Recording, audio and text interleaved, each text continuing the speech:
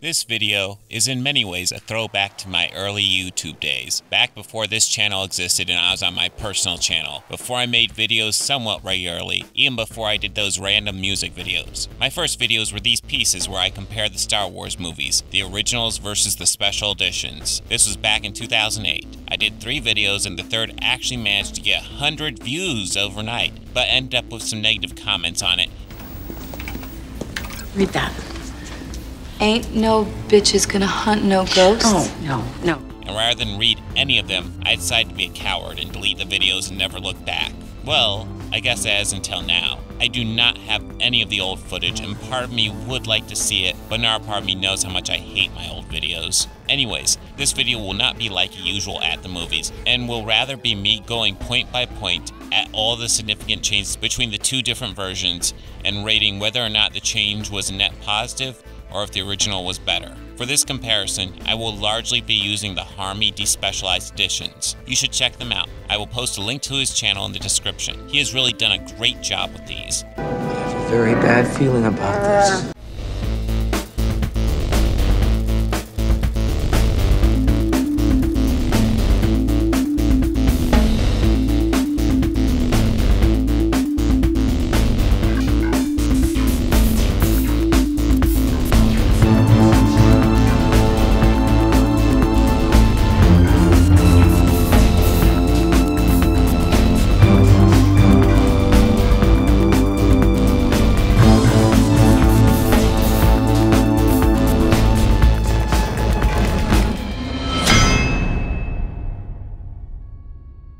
Are some very basic superficial changes, such as better sound mixing and improved visual effects, and because of this, the special editions will start this with a point before I even go into noteworthy changes.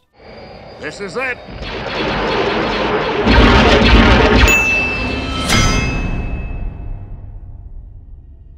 Throughout the movie, we've already seen lots of CGI inserted into the special editions, and for the most part, it doesn't distract from the story. This quick sequence where they drive through a bunch of random CGI crap as they enter Mos Eisley is really distracting, however, and the CGI has dated incredibly poorly. Lucas said he wanted this to establish that this is an alien place, except the scene where they enter the bar is still in the movie, and it is far more effective at establishing this. This bit, with them driving through random crap, is redundant and has not aged well. Point for the original. Uh, most of the best freighter pilots are to be found here. Only watch your step. This place can be a little rough. Early on, we get what is perhaps the most controversial change of the whole trilogy the whole Greedo shoots first change. George Lucas has made it abundantly clear that he felt this change was necessary. In a recent interview with the Washington Post, Lucas explained his decision to alter the scene, saying, quote, Han Solo was going to marry Leia, and you look back and say, should he be a cold-blooded killer? Because I was thinking mythologically, should he be a cowboy? Should he be John Wayne? And I said, yeah, he should be John Wayne. And when you're John Wayne, you don't shoot people first, you let them have the first shot. It's a mythological reality that we hope our society pays attention to. If you're my father, if you love me, you'll shoot him. Well, I'm your father, and I sure love you. So, Han Solo is a hero, and as a hero, he should not shoot first. He shouldn't start fights. From this perspective, he has a very solid position, but somehow it seems like he's missing a point with his own creation. If you play Dungeons and Dragons, you should have an understanding of alignments. Your typical good guy would be lawful good. You follow the rules and you want to ensure that good prevails in the end. On the opposite end of the spectrum, you get chaotic evil. You want evil to prevail, and you don't care how you get there. There are other variations. You have lawful evil, in which you follow the rules with the ultimate goal of letting evil prevail. Then you have chaotic good. You want good to prevail, but you don't care about breaking the rules to get there. At this point in the story, I won't even call Han Solo chaotic good. He is helping Luke and Obi-Wan, but completely for money.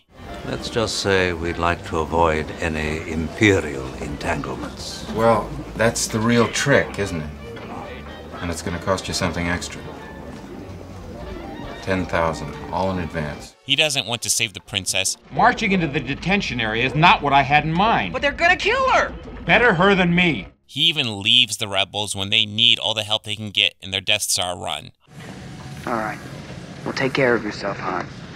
I guess it's what you're best at, isn't it? Han is chaotic neutral at the beginning of this movie, meaning he doesn't have an interest in who prevails and pretty much will do whatever for his own self interest. When Han shoots Greedo first, it firmly establishes that he isn't a good guy. He just isn't Imperial. This is what makes him coming to save Luke at the end of the movie have such an impact.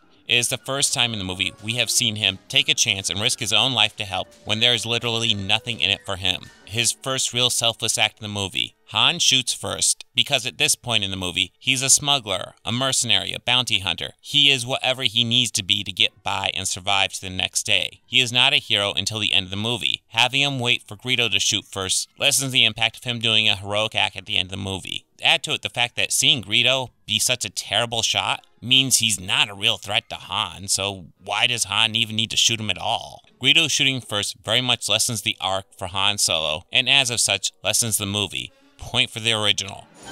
17,000. Those guys must really be desperate. This could really save my neck. Get back to the ship and get her ready.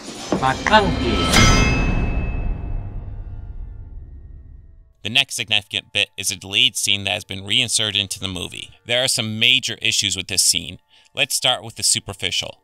At this point, Jabba the Hutt was just going to be a guy in a robe. Because of this, they have Han walking around him as Jabba moves around because that is what the original actor did. The CGI, even though it is updated from the original, does not look remotely real and holds nothing on the puppeteering in Return of the Jedi. Since Han walks behind Jabba at one point, they even have Han step on his tail. And I get bored sometimes.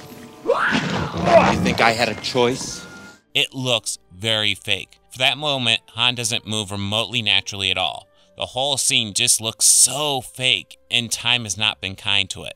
Now let's look at this from a story standpoint. The scene is completely redundant. The idea here is to establish that Han owes Jabba money, and Jabba will do anything to get it. But we already have the Greedo scene, which is much more effective at establishing that. Greedo posed a risk to Han, although apparently he can't shoot worth a damn, so maybe not much of one. Jabba just shows up here. Han says, I'll have your money, back off, and Jabba does just that.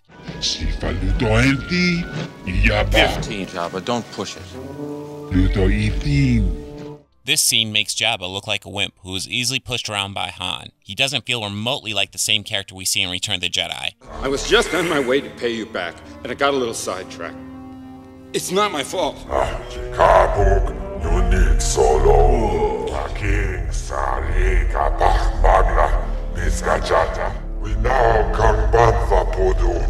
Adding this scene gives us a Jabba that doesn't look or act remotely like the Jabba we get later, and is also completely unnecessary and redundant. Point for the original. What a piece of junk! She'll make point five past light speed. She may not look like much, but she's got it where it counts, kid. I've made a lot of special modifications myself.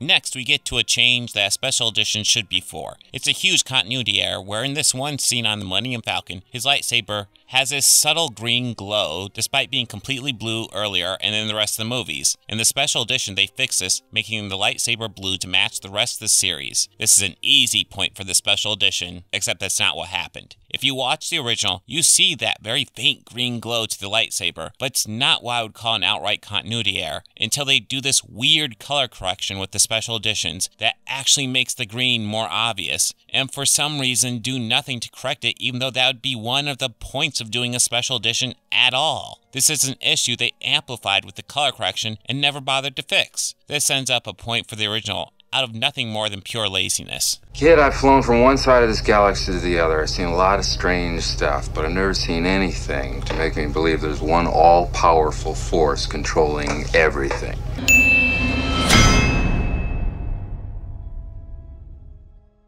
This is one of those changes as honestly debatable. It's good for the audience to meet Biggs, to give his death more impact, and really help place the audience more in Luke's position at the end. In the original, we just get a mention of him, and when he dies, we get the sense that Luke knows him, but it's not very solid. Yet the scene also distracts from the pace and takes away from the urgency of the moment. The Death Star is coming to blow us up, yet let's stop and talk for a few moments. Wilma, I promise you, whatever scum did this, not one man on this force will rest for one minute until he's behind bars.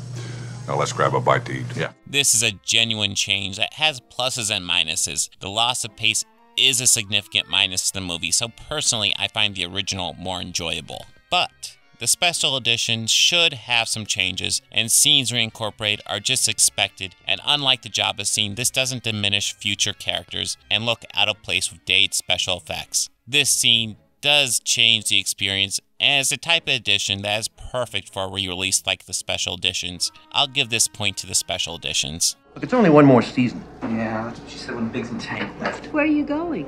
Looks like I'm going nowhere.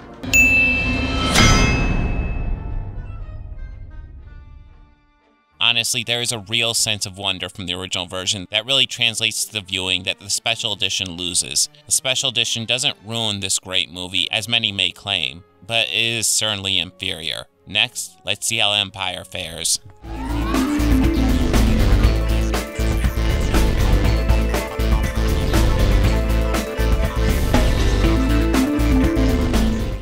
They think order and chaos are somehow opposites and try to control what won't. Pain don't hurt.